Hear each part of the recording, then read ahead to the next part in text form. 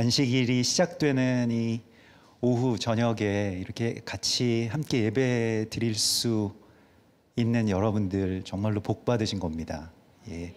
우리가 어, 이곳에도 몇 분 계시지만은 어, 또 온라인으로도 뭐한 100, 150분 좀 안 되는 그 어, 분들이시지만 같이 이렇게 예배 드리고 있는 전 세계에서 예배 드리고 있는 여러분들 주님의 이름으로 축복하고요. 정말 하나님께서 큰 복을 주신 것을 아, 좀그 아셨으면 좋겠습니다. 아, 어, 저도 아, 그, 그렇게 어, 정말 너무 복되다 이렇게 오늘 예배 드리면서 어, 그런 생각을 하게 되었는데요. 금요일 날 사람들 뭐 바쁘고 또 뭐 직장인들이나 또 뭐 그 젊은이들은 또뭐 불금 뭐 이런 그 불타는 금요일을 만들자 뭐 이런 날에 어, 정말로 안식 가운데 우리가 들어갈 수 있는 것이 참으로 우리에게 큰 복이라고 믿습니다. 아, 오늘 우리 하나님의 말씀 나누실 텐데요. 키티사라고 하는 이번 주 토라 포션의 본문입니다. 출애굽기 30장 11절에서 아, 16절까지 이것이 첫 번째 아, 파르샤, 첫 번째 알리아의 그 본문 가운데 그 앞부분인데요. 그 어, 우리가 11절에서 16절까지 이 말씀 같이 한 목소리로 봉독하시겠습니다. 여호와께서 모세에게 말씀하여 이르시되 네가 이스라엘 자손의 수요를 조사할 때에 조사받은 각 사람은 그들을 계수할 때에 자기의 생명의 속전을 여호와께 드릴지니 이는 그것을 계수할 때에 그들 중에 질병이 없게 하려 함이라 무릇 계수 중에 드는 자마다 성소의 세겔로 반 세겔을 낼지니 한 세겔은 20게라라.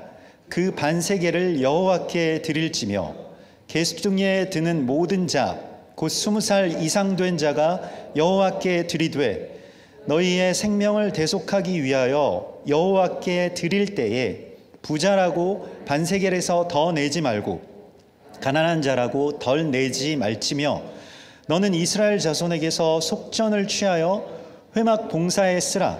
이것이 여호와 앞에서 이스라엘 자손의 기념이 되어서 너희의 생명을 대속하리라. 아멘. 예, 이번 주 토라포션 우리 하나님께서 주신 말씀은 키티사라고 하는 제목인데요. 키티사는 수효를 조사할 때에라고 하는 예, 그이 말씀 오늘 읽은 본문의 12절 말씀이죠. 아, 네가 수요를 조사할 때, 근데 어떤 수요입니까?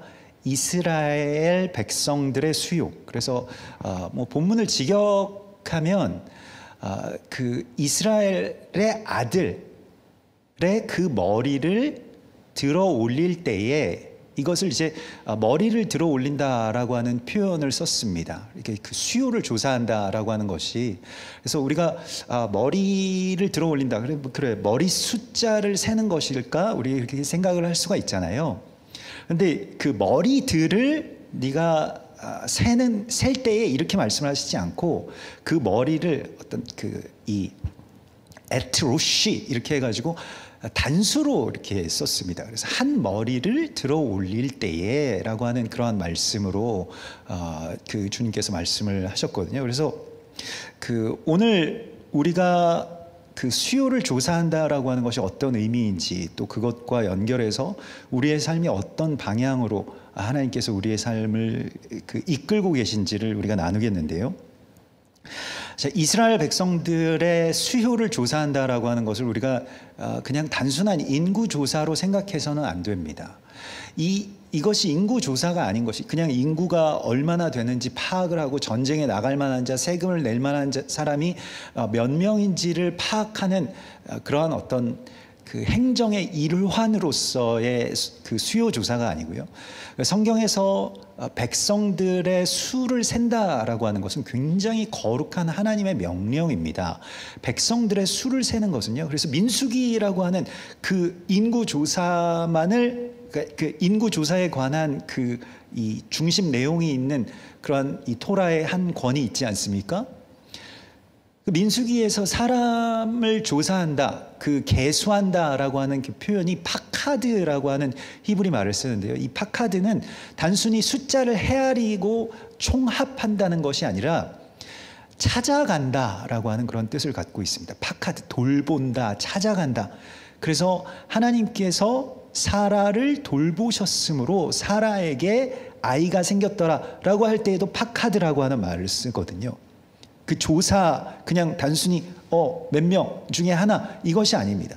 한 사람 한 사람을 찾아가서 그에게 생명을 불어넣는 일 그것이 바로 이 인구를 그 백성의 아들들을 계수하라라고 하는 그러한 의미가 되겠습니다. 그래서 어, 우리가 머리를 들어 올린다라고 할 때에 우리가 이 키티사에서 이 티사가 바로 그 말인데요. 티사의 어떤 뜻이 있냐면 그게 이제 동사에서 어, 나온 말인데 그 머리 그 머리를 이제 그 들어 올린다. 그래서 이 나사라고 하는 아, 말에서 나온 것입니다. 그래서 그 나사 가 들어 올린다, 무언가를 세운다라고 하는 그런 뜻이고요. 그래서 이스라엘 사람들은 그 지도자 뭐 우리처럼 우리가 지금 뭐 그 대선을 앞두고 있습니다만은 그 백성의 지도자를 네시임이라고 그렇게 표현을 하고 있습니다. 네시임은 우두머리라는 뜻이거든요. 오늘날 어, 뭐 백성의 지도자가 우두머리다라고 하면 좀 안 좋은 그 부정적인 그러한 의미로 이렇게 표현으로 쓰입니다만은 우두머리라고 하는 것이 머리를 위에 두었다. 우두 그러니까 위에 그 두 머리를 두었다라고 하는 그런 뜻에서 나온 말이거든요. 그러니까 이 우두머리라고 하는 그 말이 백성의 지도자들이 그냥 아, 자기가 머리로서 선 것이 아니라 백성들이 그 머리를 한 마음으로 들어 올릴 때에 그 지도자가 서게 되는 것입니다.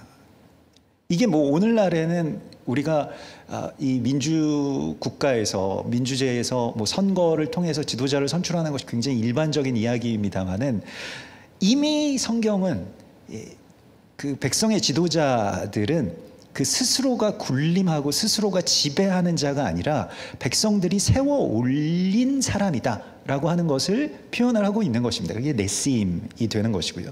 그리고 우리도 그 머리를 들어 올리는 사명이 있다는 것을 주께서 말씀을 하시고 있습니다. 그래서 한 머리를 들어 올리는 것, 예, 그것이 이제 이 백성들에게 주신 또 이번 주에 하나님께서 우리 가운데 주신 명령이 되겠고요.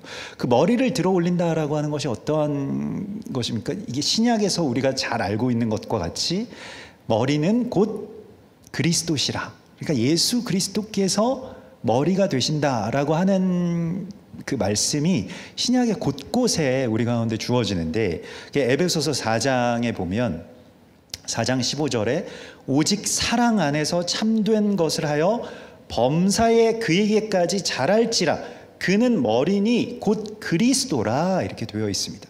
그래서 에베소서가 에베소서 2장에 그 유대인과 이방인이 그리스도 예수 안에서 한 세 사람이 되는 이야기가 나오지 않습니까? 근데 그 한 세 사람의 연합이라고 하는 것이 결국 무엇이냐? 한 머리를 들어 올린다라고 하는 것이에요. 그래서 몸의 연합을 통해서 머리를 들어 올리는 것입니다. 사람의 숫자를 센다고 하는 것 되는 것이 아니라 우리가 서로 지체로서 연합하는 것이죠. 그래서 오직 사랑 안에서 서로 참된 것을 하여 범사의 그에게까지 이를지라. 그래서 그 지체의 연합을 어, 머리를 들어 올리는 일이라고 그렇게 그 설명하고 있습니다.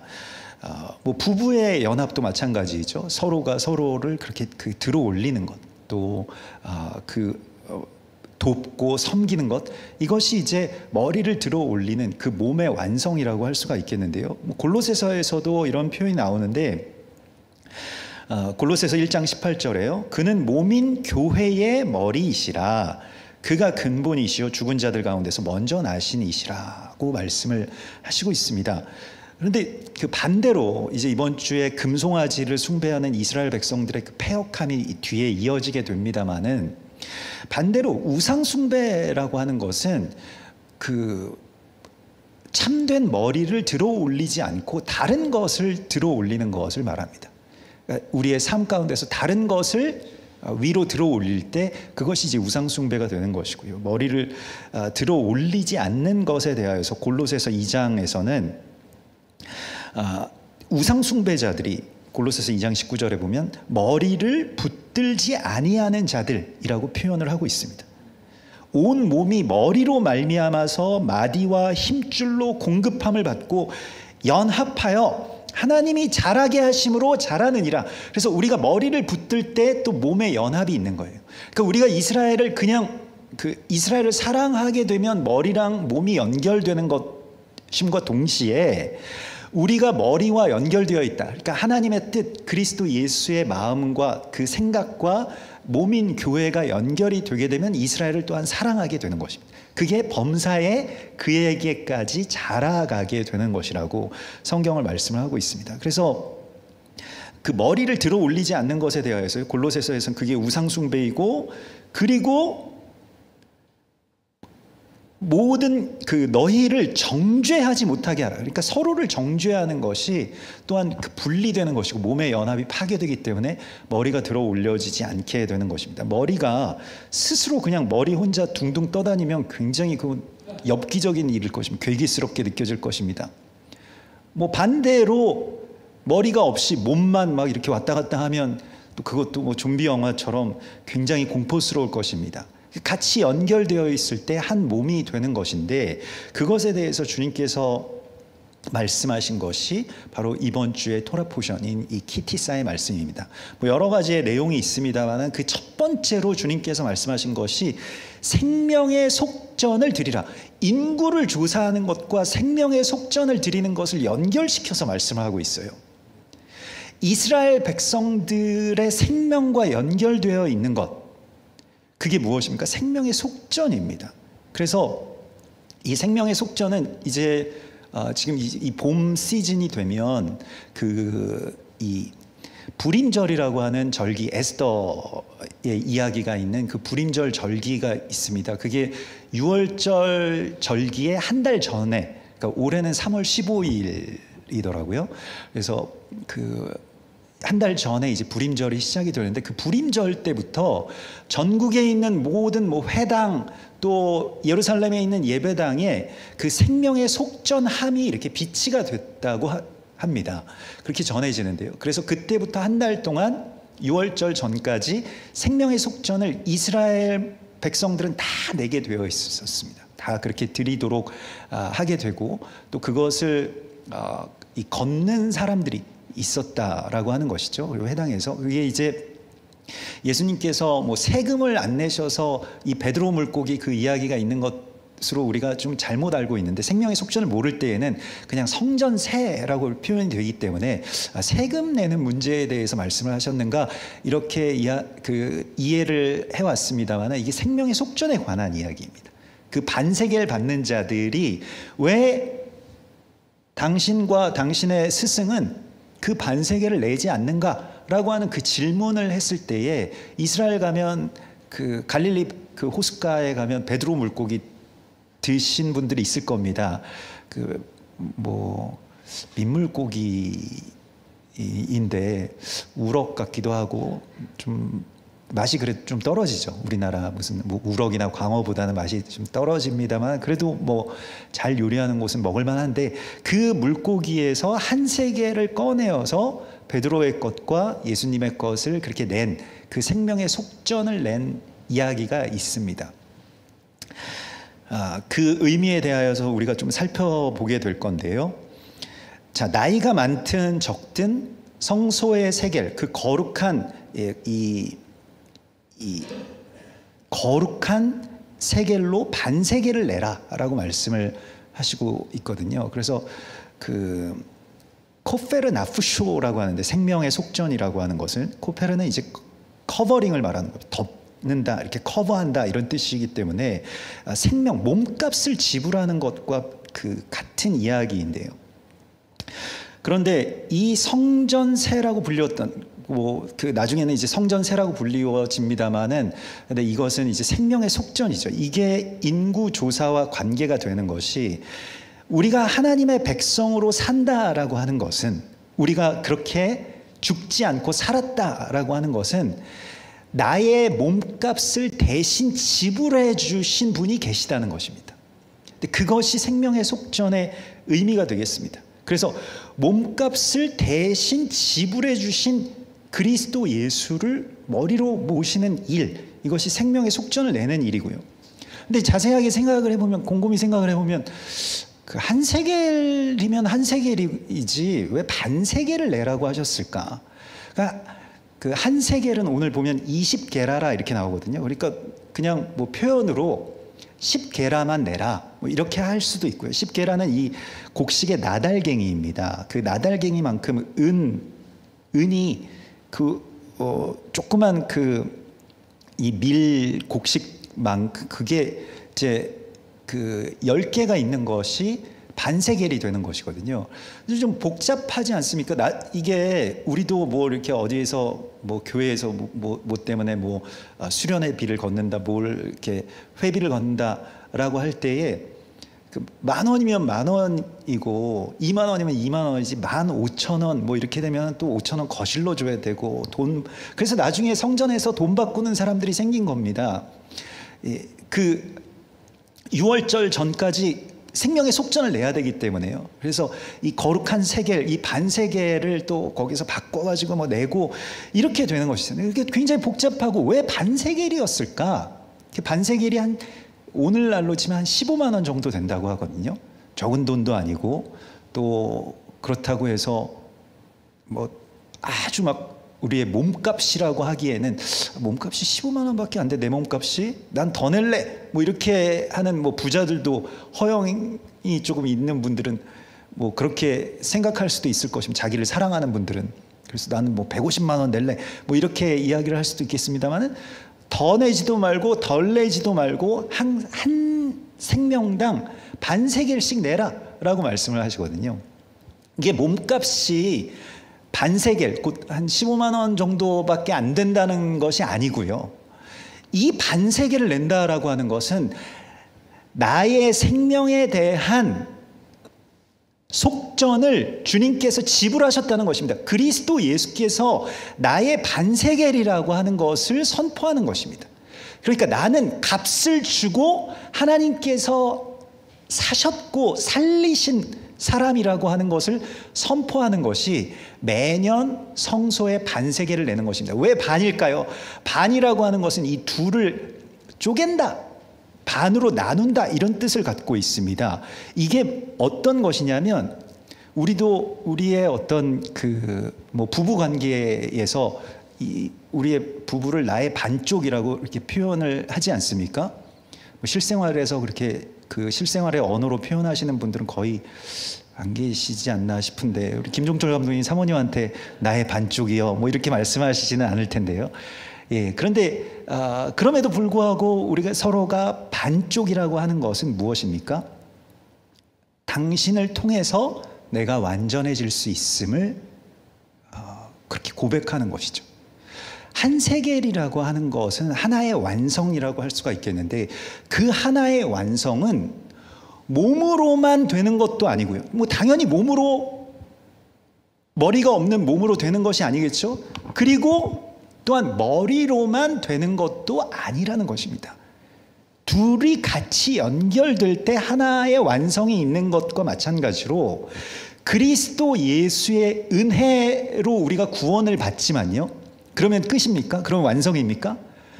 나머지 몸의 그 반쪽에 사명이 또한 우리에게 있는 거예요. 그래서 내가 그 반을 빚졌다라고 하는 것과 동시에 나머지의 반을 채워야 될 나의 사명이 있음을 선포하는 것입니다. 그래서 우리가 구원에 관해서 이렇게 좀 혼란스럽다 못해서 뭐 구원파라고 하는 이단도 나오, 나왔는데 그게 무엇이냐면 그냥 은혜로 말미암아서 우리가 구원에 이른다라고 하는 것입니다. 은혜면 다 끝난다는 거예요. 근데 은혜면 다 끝날까요? 우리가 토라를 모를 때에는 이게 뭐 그 교단에 따라서 조금 다른데 저는 이 장로교에서 자라고 교육받았기 때문에 이 은혜로 구원을 받는다 오직 은혜 오직 믿음으로 말미암아서 구원을 받는다라고 하는 것이 굉장히 강조되어 있는 뭐 아 그게 뭐 어떤 뭐 칼빈이나 뭐 하여튼 예정론도 이렇게 들어가게 되고요. 그게 굉장히 강합니다. 근데 좀 다른 교단들 뭐 순복음이나 다른 쪽에서는 아 사람이 그 자유 의지 안에서 하나님 앞에 해야 될 많은 어떤 그러한 이 충성과 사명들을 우리가 다 해야 된다 이렇게 말씀을 하시는 것이 또 강하거든요. 근데 그 둘이 같이 가는 겁니다. 그래서 아버지의 그 영광을 보니 요한복음 1장에서 은혜와 은혜만 있는 게 아니고요. 진리가 충만하더라 이렇게 되어 있습니다. 은혜와 진리가 서로 반쪽인데 그게 합쳐질 때 하나가 되는 거예요. 구원이 완성이 되는 것입니다. 그리스도 예수로 말미암아서 우리가 구원을 얻지만 교회에 몸의 사명이 있다는 거예요. 그 나머지의 반쪽의 사명을 우리 가운데 주셨다라고 하는 것입니다. 그래서 함께 이루어간다. 함께 연결되자. 함께 이루어가자라고 하는 이 초대가 바로 생명의 속전의 의미가 되겠습니다. 그 생명의 속전이라고 하는 어, 헌금을 뭐 한국 교회에서 제가 드려본 적이 없는데요. 근데 그 우리가 생명의 속전을 그러면 이제 어떻게 뭐 그 이 주님께 드리는 그러한 삶을 살 수 있을까? 그러니까 인구를 조사할 때 아, 뭐 조사관이 가서 사람들의 숫자를 센 게 아니라 하나님의 백성들이 나와서 자신들의 생명의 속전을 드렸을 때 생명의 속전을 세 보면 될 거 아니겠습니까? 그러면 사람이 몇 명인지 나오잖아요. 그렇게 드리게 되어 있는 것입니다. 그러니까 하나님의 백성이 된다라고 하는 것에 대한 헌신, 또 그 부르심, 그것이 어우러지는 것이 인구 조사였습니다. 근데 우리가 그 이 우리 브레드 TV에서 이제 그 토라 강의하시는 우리 요셉 요셉 슐람의 그 강의를 보아도 나옵니다마는 그렇게 생명의 속전을 드리는 것을 통해서 뭘 했느냐 이스라엘에서요. 그게 그 어, 성소 그러니까 성막 시대에는 성막의 기둥을 세우는 데에 사용되는 그 고리 100개를 만드는데 이 생명의 속전을 썼다고 전해집니다. 그러니까 성전 성막의 기둥을 세우는 것에 고리로 썼다는 거예요. 근데 이것이 굉장히 상징적인 어떤 성막의 의미임과 동시에 또 무엇이 있습니까? 생명의 속전이라고 하는 것을 통해서 레위인들과 제사장들을 세우고 살리는, 먹이는, 입히는 그러한 비용으로 또한 그것을 이제 드리게 됩니다. 그러니까 이 생명의 속전의 용도가 그러가 있어요. 성막의 기둥을 세우는 것, 그리고 레위인들을 세우는 것. 이것이 생명의 속전으로 하는 일이었습니다. 그래서 우리가 이제 뭐 베드로 그 이 물고기의 이야기를 다시 한번 나누면 이게 반세겔이라고 하는 것이 마치트라고 해서 반으로 자른 그 이 한 쌍 그러니까 이 반려자 뭐 반쪽 이러한 뜻의 언약의 의미를 갖고 있습니다. 우리가 뭐 어떤 이렇게 그 사랑을 표현할 때 이렇게 반으로 잘라서 이 반쪽을 네가 갖고 반쪽은 내가 갖고 나중에 우리가 합쳐 보면 하나가 되는 거야. 뭐 그 이런 것과 마찬가지로 그게 이제 언약의 의미가 되는데 마태복음 17장에 나와 있는 이 가버나움에서 반세계를 받는 자들이 너희 선생은 왜 반세계를 내지 않느냐라고 그렇게 질문할 때에 베드로가 당황해서 아니야 내, 내신 낼 거야 이렇게 하고 집에 들어갑니다. 그래서 예수님께 가서 묻습니다. 그래서 어, 이거 반세계를 내야 되겠는데요? 라고 하니까 예수님께서 네 생각은 어떠냐? 세상의 임금들이 누구에게 세를 받느냐? 자기 아들에게냐? 타인에게냐? 근데 베드로가 이르되 타인에게니이다. 근데 예수께서 이르시되 그렇다면 아들들은 세를 면하리라 이렇게 말씀을 하셨거든요. 그러나 우리가 그들이 실족하지 않게 하기 위하여 바다에 가서 낚시를 던져 먼저 오기를, 오르는 고기를 가져와서 입을 열면 한 세계를 얻을 것이라 이렇게 말씀을 하시고 있습니다. 그래서 물고기의 뱃속에서 한 세겔이 나오는데 예수님과 베드로가 반세겔씩 나눠서 내게 되었습니다. 베드로는 교회를 상징하는 또 인물이라고 할 수가 있겠고요. 그래서 그 음부의 권세가 해하지 못하는 그 교회의 의미가 있습니다. 예수님께서 또한 나머지의 반세겔이시고요. 그래서 하나가 되는 바로 이 베드로 물고기의 이야기가 몸인 교회가 머리이신 그리스도 예수와 연결되는 이야기라고 말씀을 할 수가 있겠습니다. 그래서 우리가 몸이 머리와 연결된다라고 하는 것은 무엇입니까? 몸이 머리 노릇을 하지 않는 데서 나오는 것입니다. 머리를 들어 올린다라고 하는 것은요. 그래서 이 위장된 겸손이 아니라 골로새서 2장에서 그 말씀하셨던 머리를 붙들지 않는 위장된 겸손을 갖지 말고 참된 겸손 그것은 무엇입니까? 생각은 머리가 하는 것입니다. 그 뜻에 우리가 따르는 것입니다. 몸이 그 뜻에 완전하게 연합됐을 때 내가 생각하는 대로 지금 나의 팔다리와 손가락이 움직인다라고 하면 그게 일종의 기적인데요. 그 뭐 아프시거나 장애를 갖고 계시거나 뭐 고통스러움 가운데 계시는 분들은 그 자체가 얼마나 복된 일이라고 하는 것을 아십니다. 우리가 그 머리가 생각하는 대로 몸이 움직인다? 라고 하는 것이 몸의 어떤 성함, 완전함이라고 표현을 하는 것처럼 예수께서 원하시는 것을 교회가 그 손발이 되어서 하나님의 백성들이 행하는 것 이것이 그 머리를 붙드는 일이라고 성경이 말씀을 하시고 있는 것입니다. 그래서 이렇게 그 머리를 붙 들어 올리는 일과 생명의 속전을 내는 일, 인구조사 이것이 이제 같이 이루어지게 되는 것이고요. 그 인구조사에 있어서 그 생명의 속전을 내지 않았던 인구조사가 있죠. 나중에 보면 다윗 왕 시대에 그냥 사람들의 숫자를 파악하잖아요. 이게 굉장히 악한 일입니다. 머리를 붙들지 않고 생명의 속전을 내지 않는다.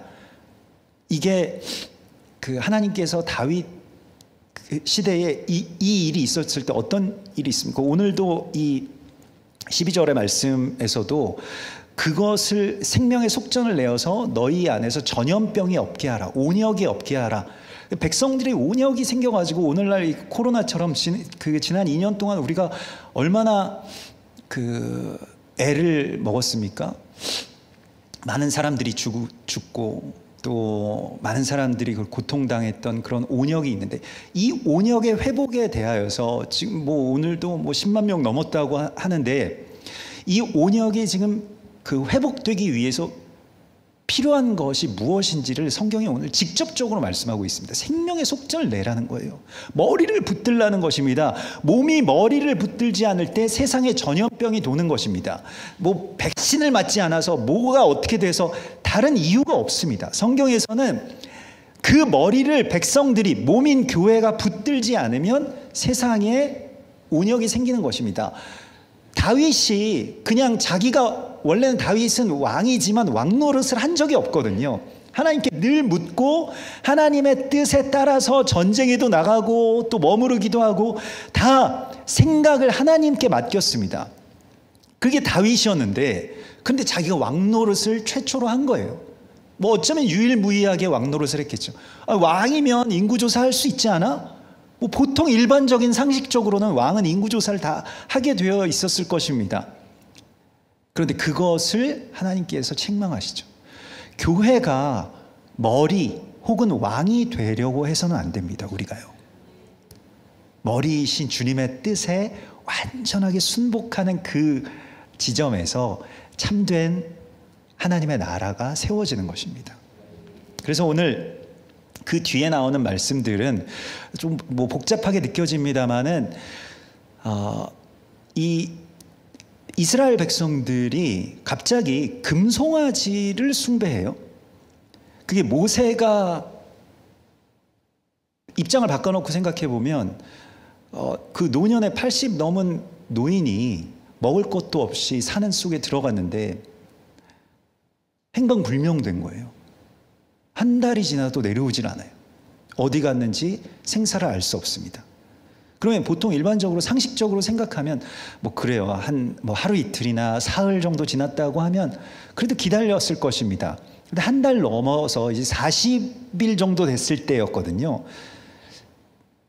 근데 그 며칠 동안에 벌어진 일입니다. 그래서 이게 마치 그 예수님께서 다시 이 땅 가운데 오신다라고 하는 것이 계속 지연되고 있잖아요. 그래서 사람들이 다 졸며 잘세 이게 열처녀 비유에서도 나오는 것 아닙니까? 신랑이 더디 옴으로 신랑이 지금 더디 오고 있는 것입니다. 모세가 더디 내려오고 있는 것이거든요.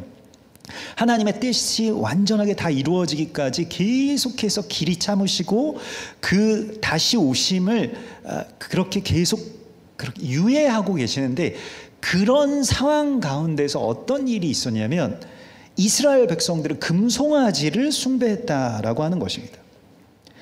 금송아지 숭배라고 하는 것은 이스라엘 백성들의 특정한 범죄가 아니고 하나님의 백성들이 하나님의 오심을 기다리지 않을 때 일어나는 일종의 번영주의 신학입니다. 우리가 오늘날에도 이 번영주의 신학이라고 하는 것이 무엇입니까? 예수님이 이 땅에 다시 오신다라고 하는 그 믿음에서 멀어질 때 무엇을 생각합니까? 돈을 숭배하게 되고 그 돈이 곧 하나님이다 이렇게 말하는 거예요. 그래서 금송아지를 만들어 놓고 아론이 백성들에게 한 말이 무엇입니까? 이 금송아지가 너희를 애굽 땅에서 인도하여 낸 너희의 하나님 여호와라 이렇게 말하고 있어요. 아론만 그랬던 게 아닙니다. 훗날에 보면 이 이스라엘 북이스라엘과 남유다가 나누어졌을 때 북이스라엘의 그 여로보암이 이 단과 부엘세바에 금송아지를 세워놓고 이는 너희를 애굽 땅에서 인도하여 낸 너희 하나님 여호와라. 이게 똑같은 말을 해요. 이게 반복된다는 것은 일종의 그 한 패턴이라고 할 수가 있겠습니다. 그래서 아, 돈을 사랑하는 것이 결국에는 하나님과 돈을 이렇게 그 바꾸어 버리는 것이죠. 그래서 하나님께서 근데 왜 이 이야기가 이 키티사에 나오게 되는가? 하나님께서 이렇게 말씀을 하십니다. 이스라엘 백성들 그런 폐역함 가운데서 다 진멸하고 완전히 싹 다 다 죽자. 다 죽고 모세 너부터 다시 시작하겠다. 이렇게 말씀을 하시거든요. 그런데 모세가 이때부터 자기 목숨을 내던지고 나를 차라리 생명책에서 지워버려 주시고 이 백성들과 동행하시고 이 백성들을 다시 하나님의 백성으로 하나님의 거룩한 백성으로 그렇게 삼으시지 않겠거든. 정말로 나를 완전히 죽여주소서라고 하는 목숨을 건 기도가 시작이 됩니다. 하나님께 기도할 때 우리가 대부분의 경우에는 뭐 나를 향한 어떤 것은 뭐 어떤 뜻이든 아니면 기도의 제목이든 하나님께 우리가 순복하면 참된 자유가 있습니다만은 그러나 하나님께서 맡겨주신 사랑하는 나라, 사랑하는 교회, 사랑하는 백성들을 위해서 내가 기도해야 될 그 사명에서는 하나님께서는 물러서지 않는 기도를 기뻐하십니다. 그래서 에스겔서에서도 보면 에스겔서 34장인데 그 이 성읍을 멸망하게 할 하나님의 사자들 하나님 앞에 내가 그 창을 막아설 자를 찾다가 찾지 못하였기로 그 성을 치노라 이렇게 말씀을 하시거든요. 하나님을 막아설 수 있는 자를 하나님께서 원하시는 것이. 이걸 의인이라고 말하고 있는 것입니다. 아브라함이 소돔과 고모라를 멸하러 가는 하나님 앞에 계속 붙들면서 기도에 그 간구했던 것과 같죠. 모세가 간청합니다. 그래서 모세의 간청으로 말미암아서 다시 이스라엘 백성들을 세우는 그 간청으로 말미암아서 어떤 일이 있냐면 하나님께서 두 번째의 돌판을 주십니다. 첫 번째의 돌판은 그 금송아지를 숭배하던 이스라엘 백성들에게 던져져서 완전히 산산조각이 났죠. 그래서 그냥 끝난 게 아니라 하나님께서 그러면 두 번째의 돌판을 다듬어서 가지고 와라. 내가 다시 새겨줄게. 이렇게 말씀을 하시고 있습니다. 이 구원의 역사에서 하나님의 구속사에서 굉장히 중요한 한 구조를 우리가 만나게 되는데 첫 번째의 것에 실패가 있습니다. 그리고 두 번째에 가서 완성이 되는 이야기입니다. 첫 번째 첫 사람 아담은 그 고린도전서 15장에 보면요. 생명이 되었다 함과 같이 두 번째 아담, 곧 마지막 아담은 살려주는 영이 되었다라고 말씀을 하고 있습니다. 첫 번째의 아담은 살았지만 죽었죠. 죄를 범하고 선악을 판단하는 나무 열매를 먹고 서로의 수치를 보게 되고 치부를 보게 되고 그것에 대해서 공격하게 되고 그래서 가인과 아벨부터 계속해서 비극들이 시작이 된 것인데 그런데 그 첫사람 아담의 실패가 있고 두 번째 아담 예, 두두 번째 아담, 마지막 아담이신 그리스도 예수께서 이것을 완성하셨다는 것입니다. 첫 번째의 두 돌판이 깨진 이 이야기와 두 번째의 돌판이 온전하게 새겨지는 이 이야기가 서로 연결되어 있고요. 첫 번째의 것이 깨졌기 때문에 두 번째가 있을 수 있는 것입니다. 그 언젠가 그 이 우리 교회에 완전히 초신자 예수를 정말로 처음 믿기 시작하신 분이 오신 적이 있었어요. 좀처럼 우리 교회는 그렇게 그 초신자들이 잘 오시질 않고 그 이스라엘을 사랑하시는 분들이 많이 오시게 되는데 그때 그때 예수를 처음 믿으신 분이 오셔서 성경 말씀을 읽으면서 굉장히 막 감탄하시면서 너무 좋아하시면서 읽으시는데 그런데 이게 읽다 보니까 이스라엘에 대해서 화가 난다는 거예요. 하나님이 그렇게 사랑하시는데 맨날 그렇게 막 배, 배반하고 막 말썽 부리고 우상 숭배하고 이게 이스라엘 백성들이 이거 한참 이거 이 너무 못돼 먹은 백성들 아니냐. 근데 왜 이 교회는 이스라엘을 그렇게 사랑한다고 하느냐. 멸망해야 되지 않느냐. 이런 말씀을 하시더라고요. 자, 이스라엘의 덜어는 우둔하고 완악하게 된 것은 무엇입니까? 이방인의 충만함을 위해서라고 로마서는 말씀을 하고 있습니다. 이스라엘이 앞에서 넘어져 주었기 때문에 율법으로 말미암아서 첫 번째의 돌판이 산산조각 난 것처럼 이스라엘이라고 하는 나라 자체가 그 모든 백성들이 다 열방으로 산산조각 나서 흩어졌는데 그것으로 말미암아서 어떻게 됐습니까? 이 신비는 이방인의 충만한 수, 그러니까 이방인의 완성이 있기까지 이스라엘이 덜어는 완악하게 된 것이 앞에서 넘어져 주었다는 거예요. 이게 이스라엘의 사명이었습니다.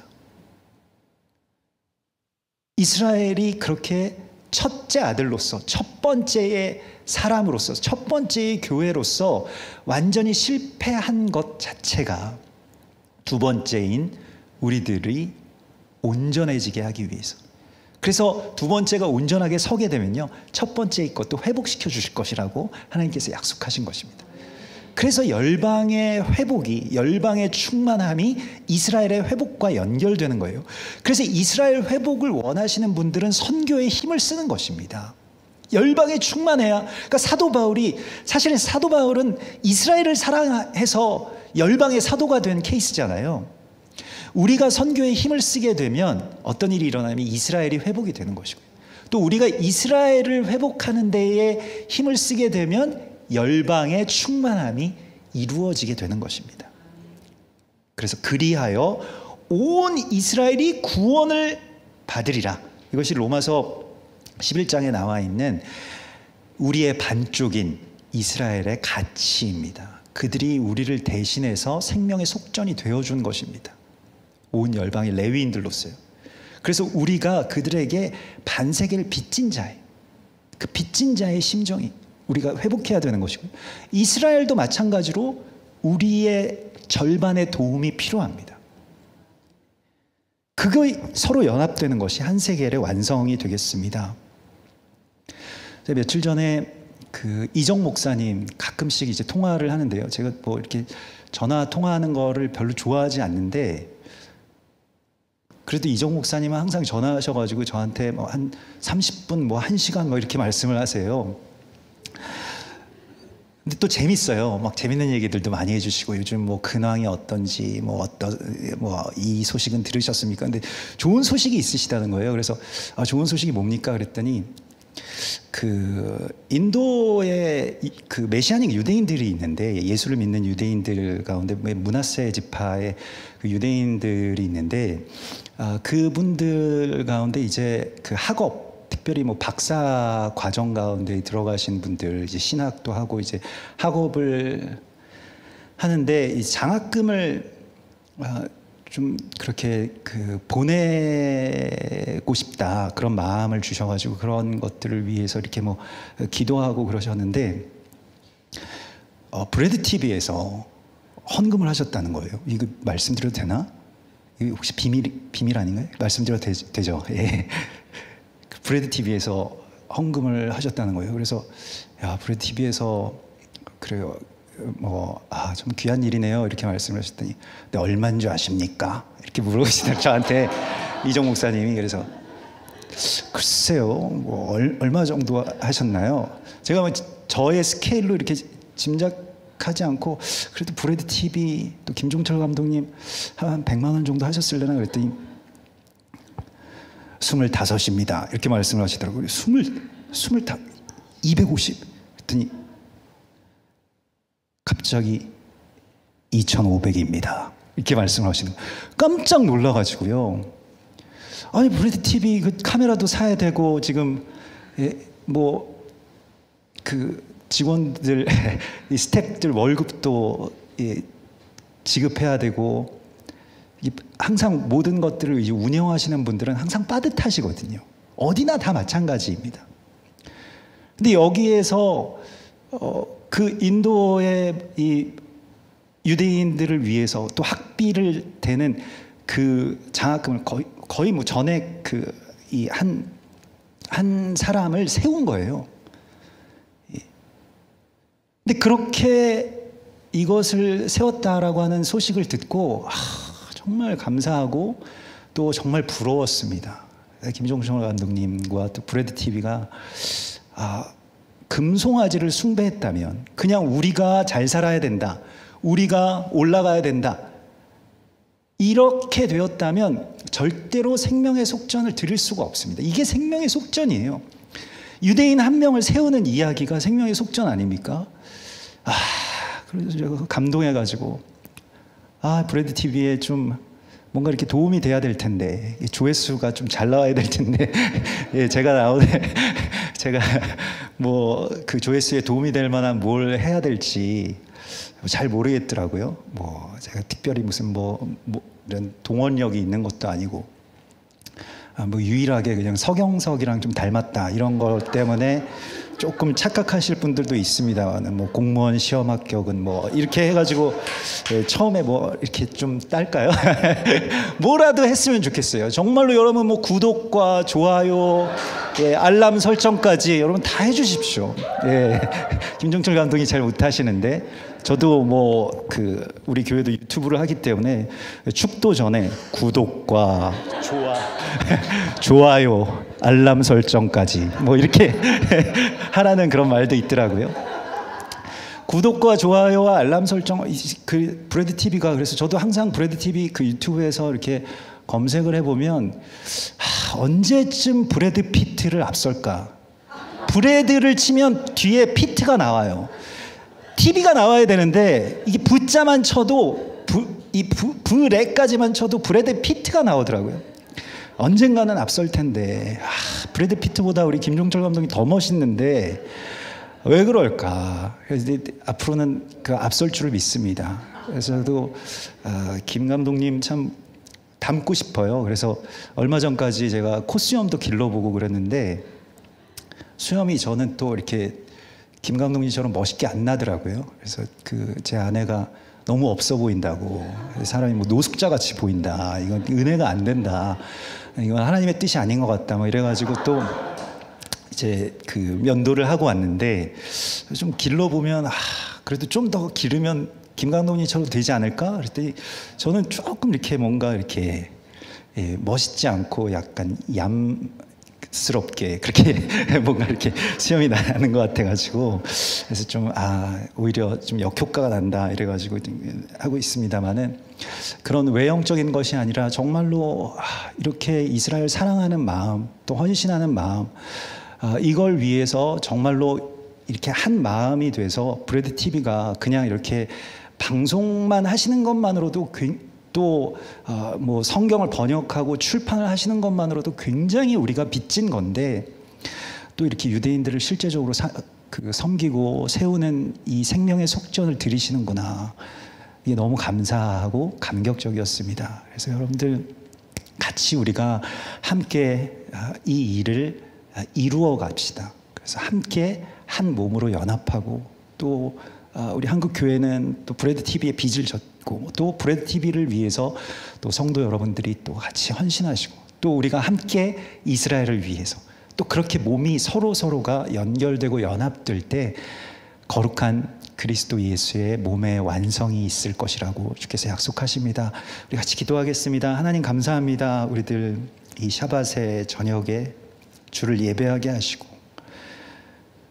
또 이와 같이 이스라엘을 알게 하여 주시고 또 우리의 생명의 속전 되신 그리스도 예수의 은혜를 깨닫게 하심을 감사드립니다.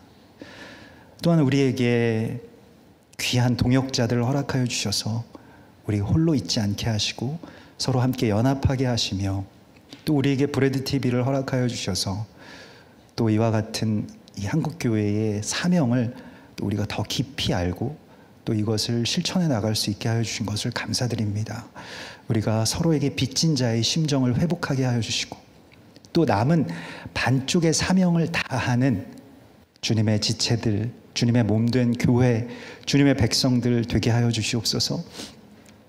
우리 때문에 이스라엘이 아직 회복되지 못하고 있음을 주님 불쌍히 여겨 주시고 열방의 충만함이 어서 속히 이루어지게 하시고 이스라엘의 회복이 어서 속히 함께 이루어질 수 있도록 인도하여 주시옵소서 거룩하신 예수와 메시아 이름으로 감사하며 기도드리옵나이다.